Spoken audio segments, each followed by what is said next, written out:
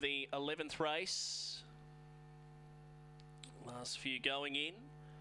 Favoured box eight. Set to run, green light, they're racing. Chalice Chaser away okay, showing a bit of speed. Joe's Entity, Chalice Chaser's trying to come over, going very wide chop, and Tibia away quickly with Cody Talks, and then trapped. They're followed by Fun Idol and Joe's Entity at the end. Tibia the leader, pressured now, getting right through on the inside. Cody Talks, but Tibia went on to win it by a length over Cody Talks, who was flashing through at the end. Third chop right down the outskirts of the track.